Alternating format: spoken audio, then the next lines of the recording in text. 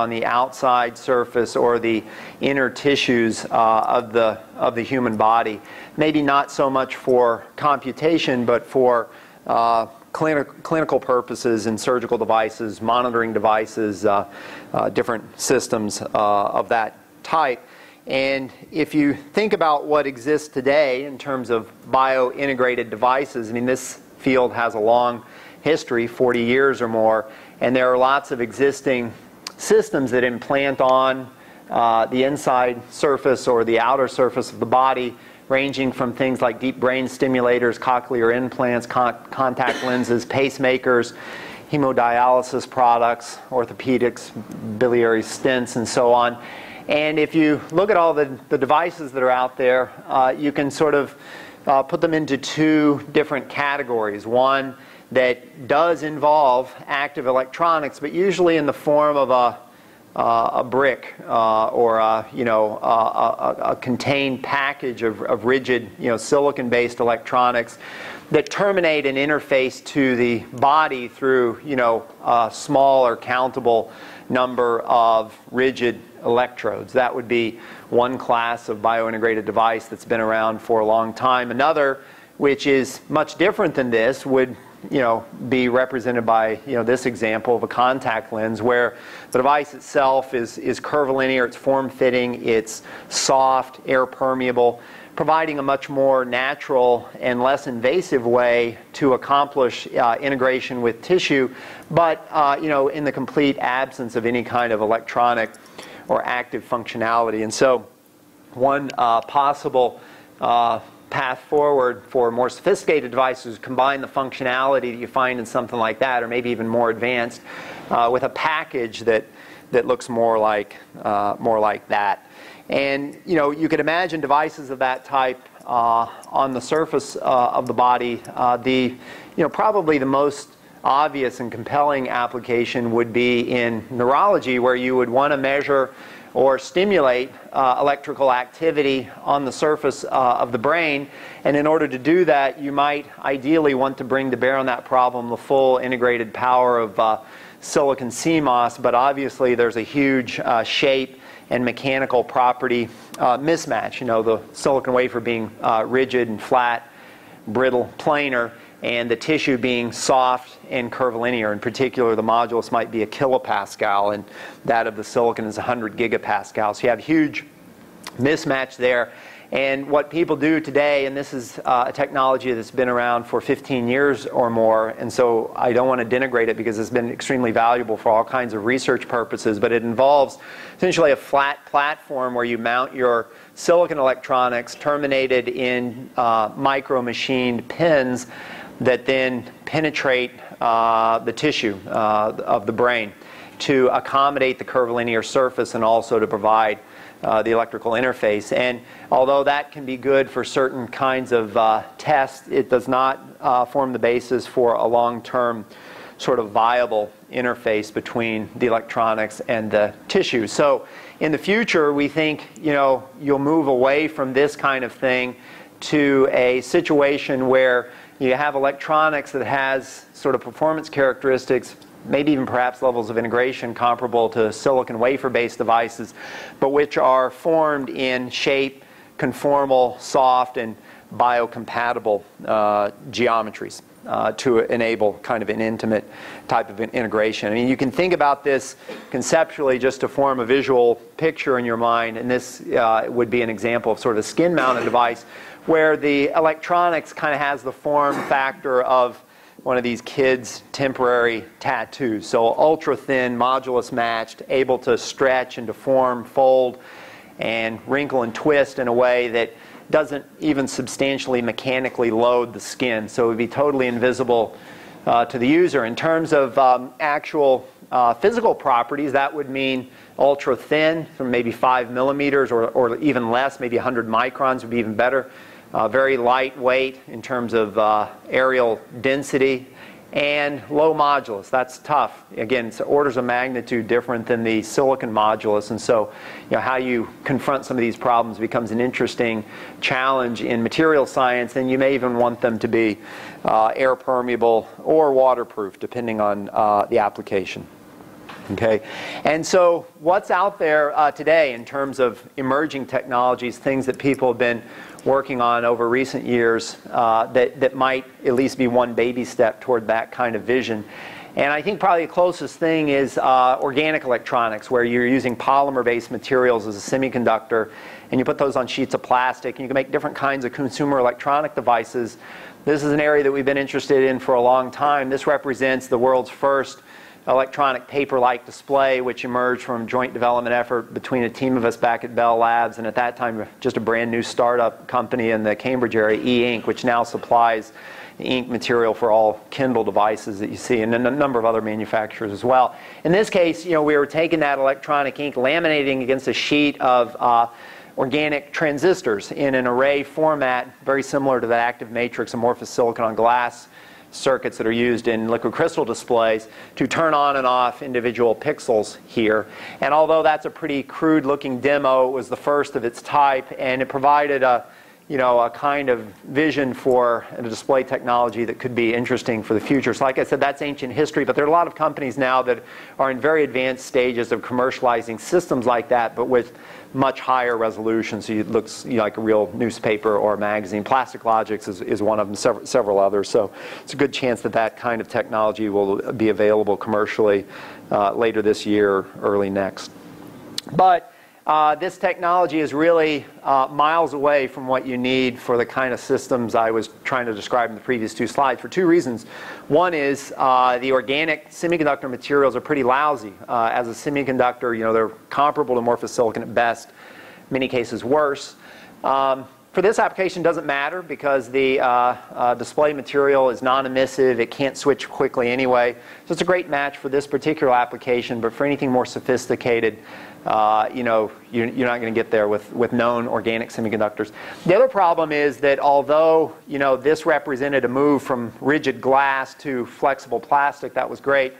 Uh, flexible sheet of plastic is not good enough for biointegrated systems. You really need something that's, again, modulus matched to the tissue. It needs to be elastic, able to uh, conform to complex curvilinear shapes, not just cylinders and cones, which is the only thing you can do if you just have a flexible sheet of plastic. So, so increasing the performance and moving to mechanical stretchability uh, were two challenges when we kind of launched our efforts here uh, in this area. So, like I mentioned before, I'm not going to go through uh, a lot of the details, just make the claim that re- two relatively simple concepts allow you to use silicon uh, to achieve those kind of target parameters I outlined previously in terms of performance and mechanical and shape characteristics. And the first concept is uh, very simple it's just uh, an elementary result of bending mechanics that if you make any material sufficiently thin, that it becomes bendable just by virtue of bending induced surface strains that go down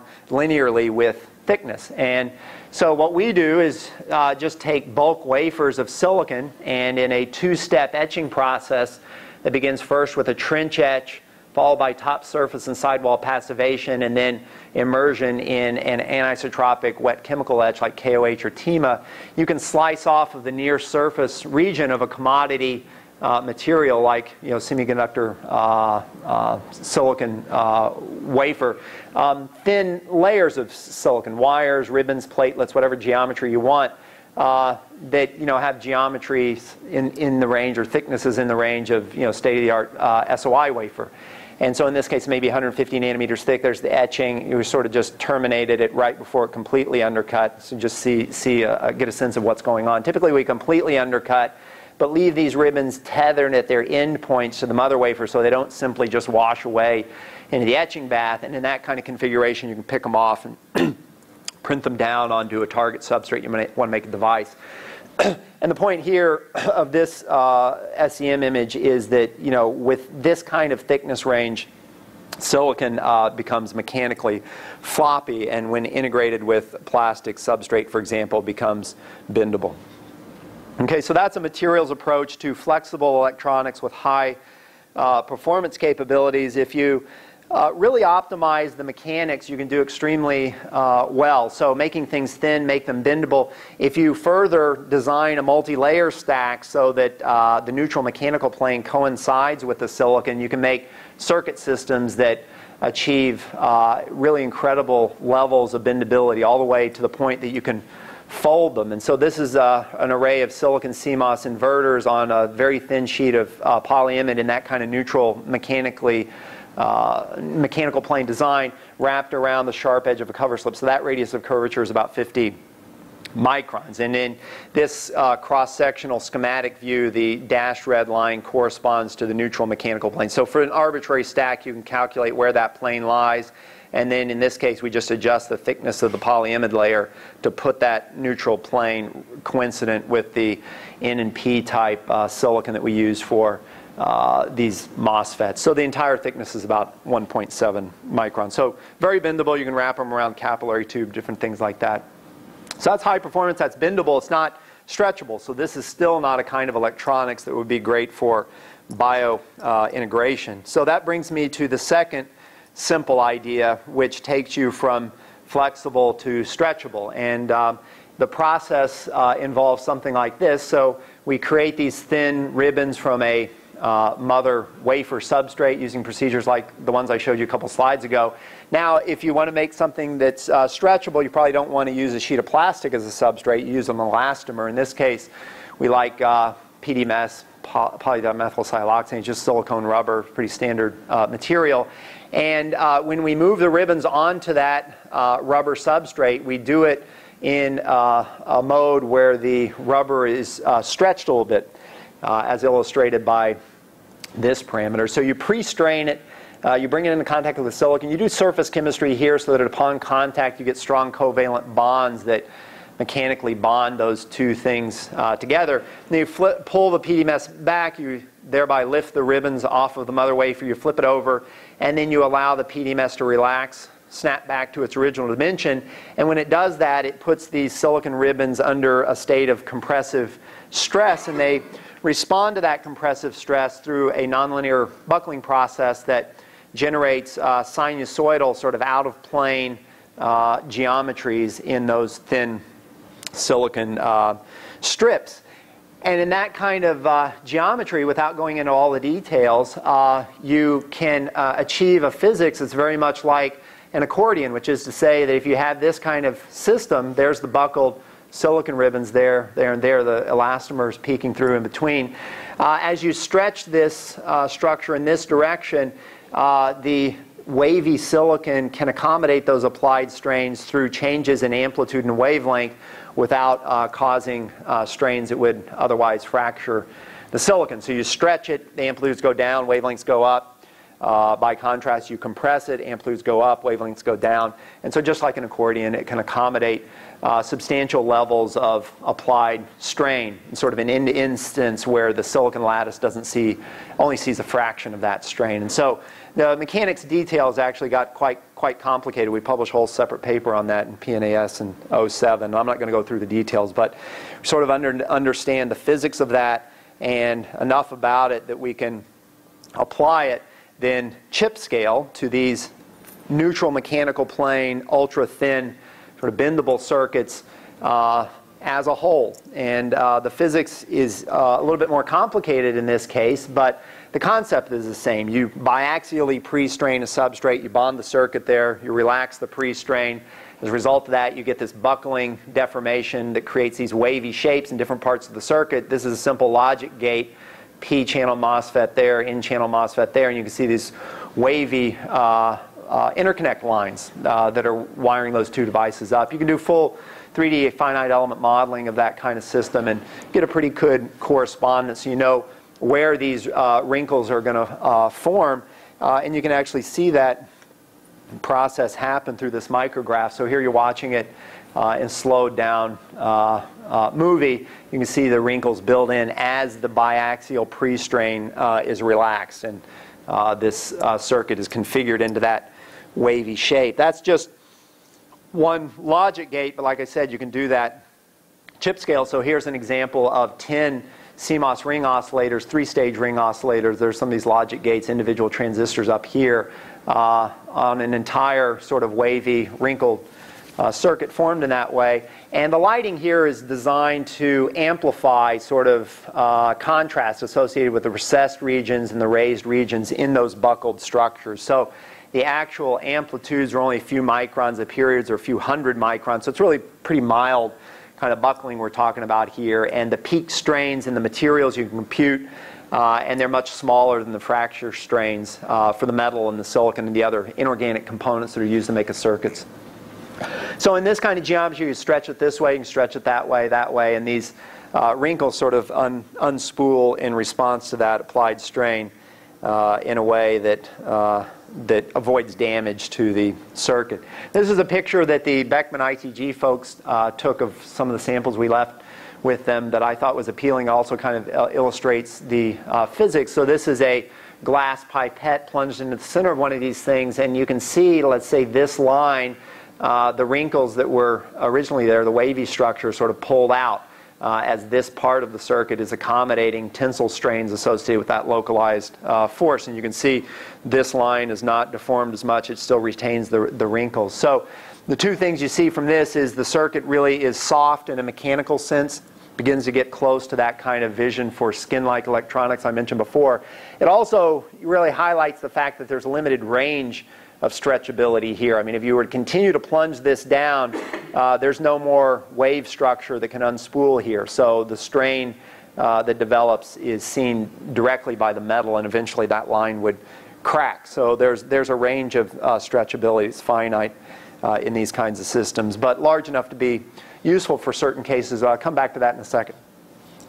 So, uh, you know, what, what are the electrical properties of these wavy uh, circuits look like? So here's one of these ring oscillators, PN, PN, PN. You can see the, uh, the, the, wrinkled uh, structure developing uh, there. If you probe the individual devices, you get nice saturation behavior, nice linear characteristics, high on-off uh, ratio. If you extract the mobilities, they're pretty much what you would see in a similarly designed device on an SOI wafer. PMOS devices, about what you expect. There's uh, the ring oscillation roughly at a frequency you expect based on piecewise simulation of this um, circuit. So all of that seems, seems to work. So you've retained wafer type electrical properties, but now you have mechanical properties that are much more like a rubber band or skin-like. Not quite there uh, yet, but, but getting there.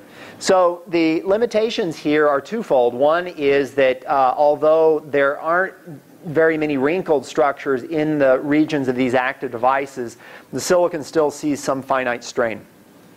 And uh, that strain causes a slight modulation in the mobility. And so if you stretch this device this way, that current will wiggle up and down depending on whether the strains are compressive or tensile at the position of the device, the channel of the device, by maybe you know 10, 20% for the full range of stretchability. And so you might think that's not too bad, but it could be bad depending on the circuit design and whether you have tolerance for that kind of thing. So that's uh, number one. Number two, uh, second limitation is that as I mentioned before, there's a finite range of stretchability here. So the wave structures get you about a factor of 10 or 20 greater degree of stretchability than the intrinsic materials. So silicon breaks at about 1% strain, uh, and this kind of configuration allows you to stretch things maybe up to 20% strain. And so that's pretty good, but it's not uh, a rubber band that you would think about, you know, 100, 200% strain. So uh, if you think about ways to avoid those two limitations, uh, you, you know, think about the uh, geometry of these uh, wave structures. And in this case, you're really just at the mercy of the physics. So you've bonded the circuit onto the uh, PDMS substrate and then just let it go. And those uh, wave structures just form where they will as dictated by the physics. And that's not very good if you want to engineer a system for a particular outcome. And so the way to do better is to control the spatial positions uh, of the bonding between the circuit and the PDMS su uh, substrate. So you can control where these wave structures form, what are the geometries. You can move them away from active devices, for example, to achieve strain isolation, things like that. And it really involves different kinds of procedures to uh, play with the surface chemistry in a patterned way uh, of the silicone rubber substrate. In this case, we're using pattern exposure to UV-induced ozone, create hydroxyl groups in certain regions, in this case in the geometry of lines.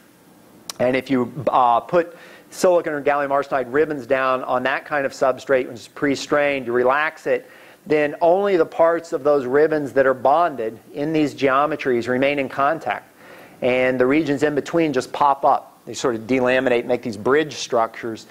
And that's great because in that case, uh, in this case, you can control directly, lithographically, where uh, you know these these uh, bridge structures form. So in this case, we kind of have a chirped waveform where wavelengths going down, it goes back up. That'd be impossible to do if you're just you know at the mercy of the uh, of the physics. And here's another example. We have sort of a phase shift uh, associated with those wave wave structures. And so that that's uh, a much better approach. In this case, it's still not uh, an electronics technology. It's just uh, strips of uh, silicon. You really need sort of 2D, you know, uh, membranes. And the way to do that is to structure the silicon into a mesh geometry, bonded at the nodes, and then, you know, you have these arc-shaped bridges uh, between the nodes that pop up because they're not bonded strongly. And if you do that, you can make a form of silicon that you can really torque and twist and stretch and compress incredible levels of strain. You know, 100, 200% is possible. In this case, it's just deformed into a, a funny shape, uh, random shape. There, I think there's only one piece of broken silicon in that entire uh, structure, and this is 100 nanometer thick, you know, fragile material in principle. It's bonded to elastomer, stretched around like that. So. So that's the basic concept we're moving forward with is that notion. Now in this case it's silicon everywhere. In a real case you would only want silicon where you need it. So maybe the active devices are in these islands. And then for the interconnects, you wouldn't use silicon. We use sort of ribbon cables consisting of metal sandwiched by polymer on top and bottom, put the metal in the neutral mechanical plane. And then you can provide, you know, sort of stretchable interconnects between devices. And so this is an illustration of that kind of uh, concept implemented with interconnects that are not just straight bridges, they're actually non-coplanar serpentines. You do a little bit better still uh, playing with geometry like that. And so in this case, we really use 3D finite element modeling as a tool for optimized design of the geometry. So in this case, it's sil silicon electronics here and here, and then these uh, microscale serpentine ribbon cables in this non-coplanar geometry as a result of relaxation of biaxial pre-strain forming the interconnects. And uh, you, can go through all the details here. In this case, it's stretched by 60% or so. You can see the strains are extremely small through this through this region. So, uh, so those are the ideas for how to do uh, silicon electronics in any kind of shape or almost any kind of mechanical property you want. And by virtue of that kind of approach, you can put silicon electronics on almost any surface. So there it is on a sheet of paper. You can fold, fold up the paper, it doesn't break. Here it is wrapped around a, a curved fingertip on a latex glove can wrap it on the dimpled surface of a golf ball. Uh, just as a demo, I don't know what that's good for, but uh, just good illustration of what you can do. We've been interested in bio-inspired devices where it's not bio-integrated, but we're looking to biology for inspiration on layouts and device designs that you can't achieve with silicon wafer-based technology, electronic eye. Imagers have been an area of interest in the last couple of years. This is a hemispherical uh, focal plane array uh, about the size and geometry of a human eye. It's only a few hundred pixels here, but uh, you know, optimized for wide-angle field of view with very simple imaging optics, just single single component lens there. Here's some imaging results from a more advanced version of this device where the curvature is actually paraboloid that matches exactly what the image curvature is when uh, you know a simple lens like that is used, and it's extremely steep, uh, uh, wide wide angle, solid angle coverage of photodetectors in that in that case. That's a picture taken with one of those kind of uh, devices. So you can do uh, silicon electronics that way. I mean, same concepts you could use with almost any kind of inorganic electronics. Here's an array of uh, AlInGaP LEDs. NMP regions here, and we're using there again this non-coplanar serpentine geometry. So that's an array of tiny LEDs, only about two microns uh, thick. So that's that's another story. But uh, you can do edge over uh, planar processed metal interconnects in this kind of geometry, and that's sitting on a uh, on a piece of uh, rubber, so you can make you know LEDs on rubber bands, and you twist them around, and uh, they're fairly robust classes of devices. You can put them on different kinds of substrates. Here's uh, an array on a piece of fabric. There's paper again. Uh, there's aluminum foil. So very robust uh, mechanically, uh, capable of integration on almost any kind of surface. We've been interested and had funded programs in smart surgical gloves, robotic devices the last couple of years. Here's an example of an optical proximity sensor consisting of an array of LEDs and an array of photodetectors down here. And so as you move fingertip close to a surface, the amount of scattered light coming back to the photodetectors can be calibrated to determine offset uh, distance uh, from an object, and that kind of capability is useful for robotics.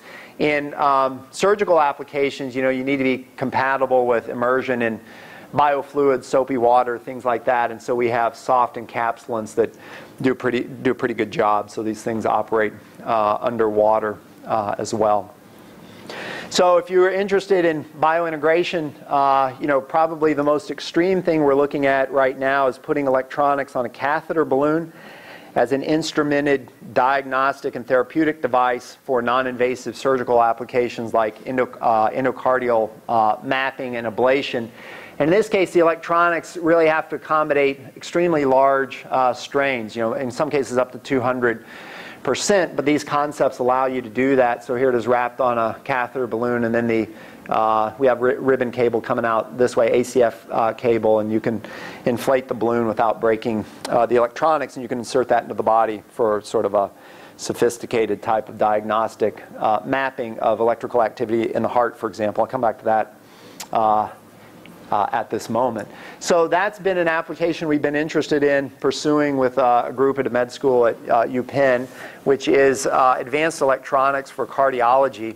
And we work with cardiologists there uh, who've specified a particular application that we've gone back and designed electronics to address that. This is, uh, I won't get into the details here, but this is an example of a device that we built and uh, published just very, very recently. So it took a long time. It's probably two, two years, but it's an array of uh, the 288 sensors multiplex. So it's about 2,016 transistors. Each unit cell consists of an electrode pad that interfaces with the uh, tissue of the heart. I'll show you a uh, movie in a second.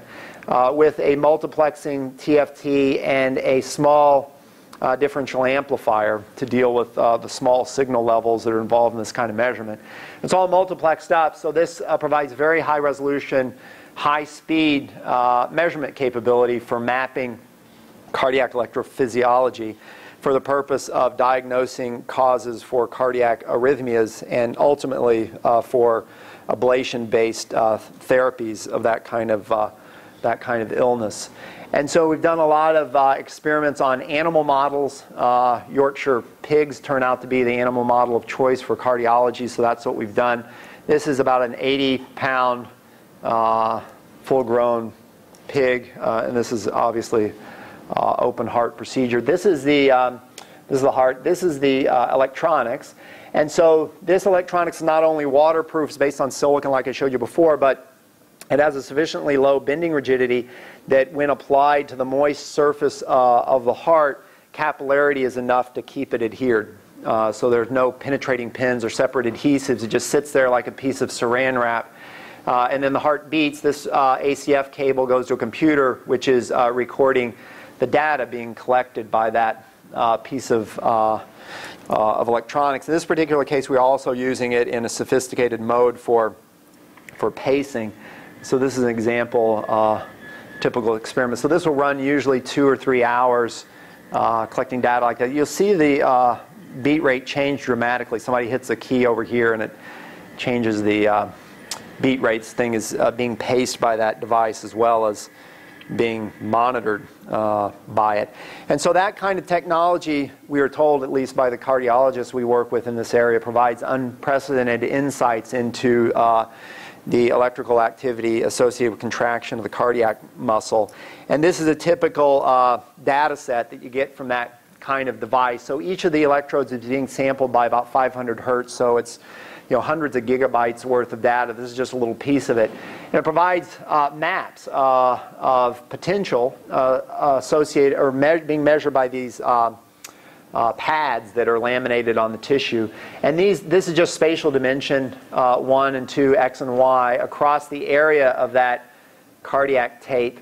Um, and, you know, it's recorded as the heart is beating. And so the uh, color code here corresponds to the uh, potential measured at each one of the active uh, measurement sites. You can kind of see it there. If you aggregate all of this data, you get EKG. And that's, that's a pretty simple measurement. So that's plotted down here. So you see a polarization event repolarization. So that's one beat there's another beat, and there's another beat. So when I play the movie, there's going to be a dashed red line here. It's kind of moving across there to just set the time scale for what you'll see uh, up there. So there it goes. You're seeing kind of noisy background here. Here comes the first beat. You see a wave of depolarization move across like that, very high speed. That corresponds to the coordinated uh, activity of the muscle and the heart. Repolarization vent here, it doesn't move across as a wave. It's just like the whole thing repolarizes. You see another beat cycle there.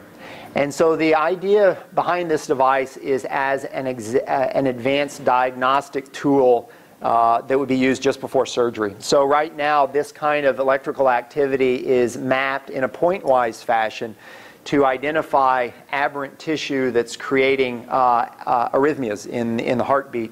And once you identify that tissue, then you can go back and uh, remove it uh, in various ways. So this provides a, a much higher speed, more accurate way to do that mapping in the future for us is to put that kind of functionality on a balloon catheter and also add to it an ability to do the therapy, do the uh, uh, ablation, to not only identify the aberrant tissue, but to uh, remove it uh, as well. So we continue to work in uh, cardiac devices, as I just mentioned, but we also have collaborations in uh, neural systems, and that comes back to this original motivation that I, that I put forward at the beginning of the talk, which is the idea of establishing a new class of brain-machine interface based on it's kind of bio-integrated electronics. And also, uh, you know, in the context of the collaboration we have right now uh, for diagnosing and treating uh, patients that suffer from epilepsy, which is all related to uh, aberrant uh, electrical activity in the brain. And so you can make these same kind of devices a little bit more challenging in the brain for two reasons. One is the, the electrical signal is about a factor of a thousand lower than those in cardiac, so the electronics has to be even better. Uh, and the other thing is that the surface of the brain is more highly articulated. It's just curvier than the, than the heart. It's not moving around, which, which is good, but, but it's, uh, it's more curved. So it's more challenging. This is uh, some systems that we have going right now. I haven't published anything on this, but this case we have one of these kind of sensor arrays, uh, similar in design to the cardiac one, but folded uh, around the, the edge of a very thin, soft elastomer such that this thing can be inserted directly uh, in between the right and left hemispheres of the brain. So you can measure signaling on one side at the same time you're measuring on the other side to gain insights into brain function. This is uh, measurements, some early experiments, sort of ongoing stuff uh, in cats in this case. You can see it's uh, inserted down into the, into the gap there, and I don't think anybody's made measurements of that sort uh, before. So this is, this is uh, likely to be interesting. So uh, that's you know a pretty simple example. Your electronics don't have to uh, be stretchable. You just bend it, uh, insert it.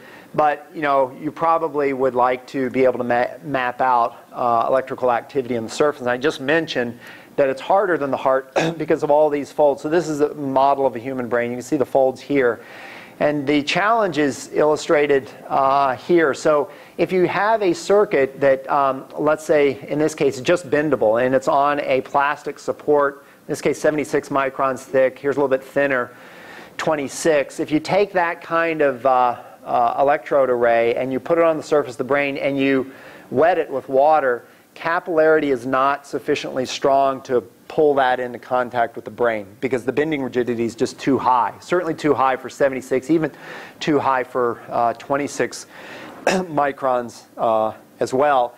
And so the physics is uh, pretty straightforward, which is that you can determine criteria for when wrapping will spontaneously occur and when it won't based on uh, an adhesion energy that's determined by this constant uh, gamma times the length of the sheet that you're trying to wrap around the cylinder in this case. And it's a competition between that uh, adhesion energy and the energy associated with bending of that sheet, which is illustrated here in this equation. So that's the Young's modulus, R is radius of curvature of the support, L is the length again, T is the thickness. So that, that T is uh, cubed, that's the thickness of that sheet. You get wrapping when the adhesion energy is bigger than the bending energy. Or when this criteria is satisfied, when gamma is larger than ETQ divided by 24R squared. So for a 50 micron thick sheet of plastic, you put in the parameters here for gamma corresponding to the interface between two wet um, materials, uh, the minimum bend, uh, radius of curvature that you can wrap spontaneously is about 1.5 centimeters. Which is too big for the brain, so you need, need about an order of magnitude smaller than that. So if you look at this equation, how do you go smaller? Well, you couldn't play around with gamma. That's, you're unlikely to be able to manipulate that. You have water and tissue, that's about it. Uh, modulus of the plastic, maybe you could play, play with that parameter. You can't change R, that's just defined by the physiology of the brain. You could reduce thickness, and you have this nice cubic dependence there. The problem is that if the circuit gets too thin, it's so floppy you can't manipulate it uh, effectively to mount it uh, on the brain. So although reducing T would solve your problem, you have other practical issues that limit how thin you can go. And so that brought us this idea of using uh, bioresorbable materials for electronics, that particular application as well as uh, others that I'll mention in a second. And for this work, we've been working with uh, or collaborating with a group at uh, Tufts University who over the years have developed silk as a real sort of photonic uh, material that can be used in, in various ways. And we were interested in exploiting it for electronics. So they can take raw silkworm silk and process it and purify it and actually spin cast it into thin films that are you know 100% natural. They're bioresorbable. They're already FDA approved for um, use in resorbable sutures. Uh, it's edible, it's water soluble. So we thought that that might be an interesting platform uh, for electronics that you could insert in the body and which would just disappear uh, over time. So let's say you're doing wound monitoring or something like that. Once the wound is healed, you like the monitor to go away. You wouldn't have to, so you don't have to go back in the body and fish it out.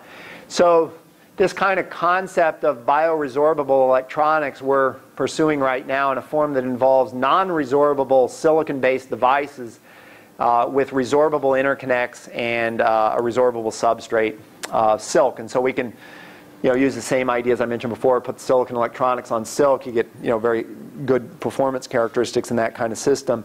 But it's uh, water soluble, and so you can kind of see that here. So here's an array of uh, CMOS logic gates on a piece of silk dropped into a uh, bath of water. There goes the devices. So silk disappears. So, so it brings up like an interesting question. You could make the silicon devices extremely small. That's the idea.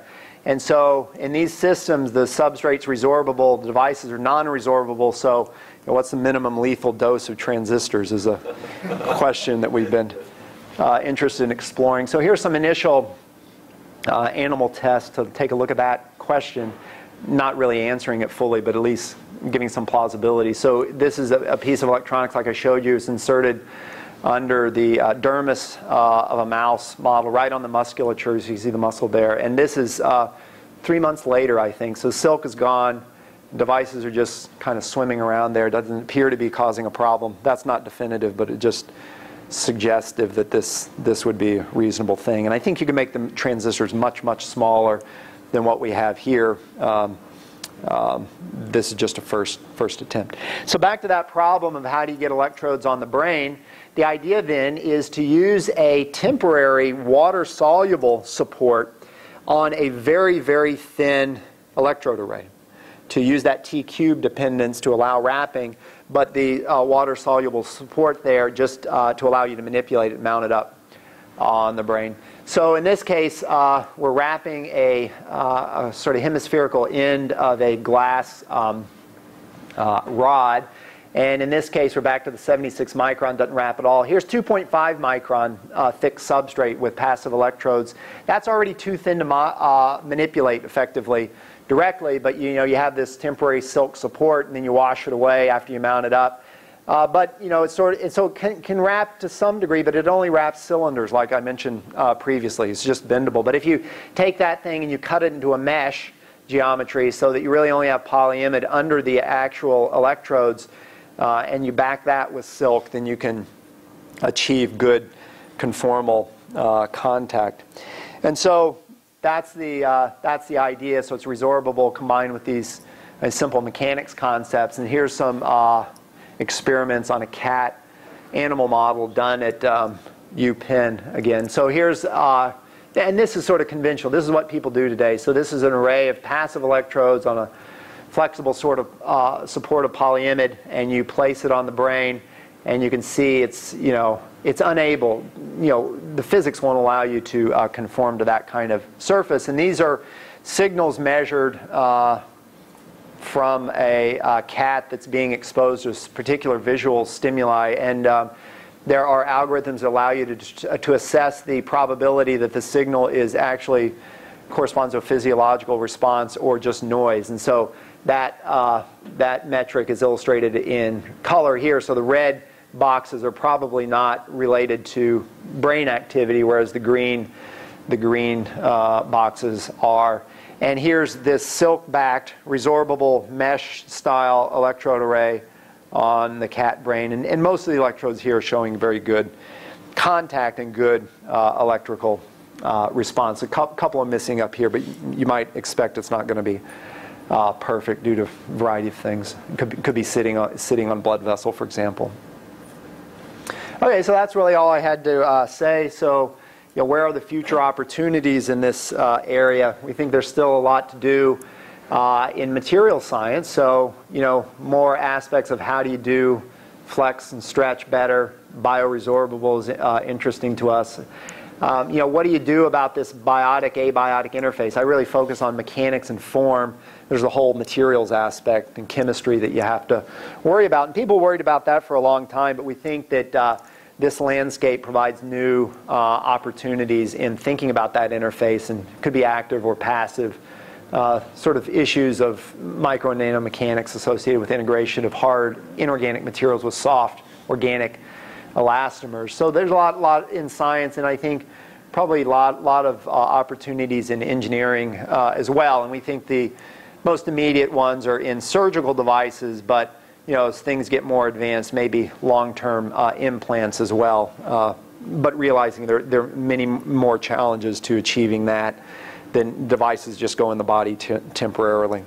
So we collaborate with a lot of folks uh, in this uh, field, and they're listed here. Yonggang Huang does all the mechanics theory for us, Ralph Nuzzo on surface chemistry, Brian Litt, neurology, Josh Moss, and uh, Dave Callans are experts in car- cardiology. I mentioned Fio and Dave on Silk. Mitch Zakin was a really smart DARPA program manager, so some of these resorbable ideas came out as a result of uh, brainstorming with him. And Xiuling Li and Kent Choquette here at UIUC on LED epi uh, growth for some of the devices I showed you before. And then lots of very, very good students and postdocs in my own group. Uh, I should acknowledge them. Thank you for your attention. Be happy to answer questions if you have any.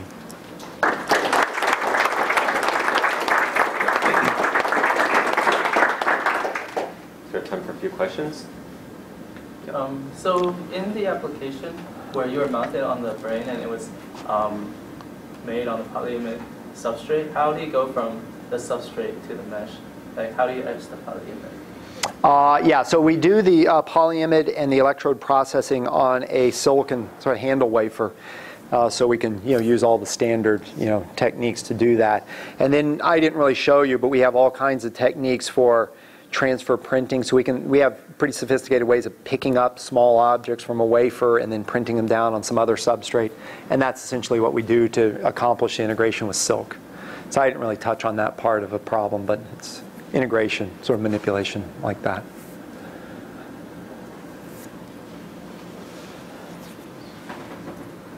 I have a question.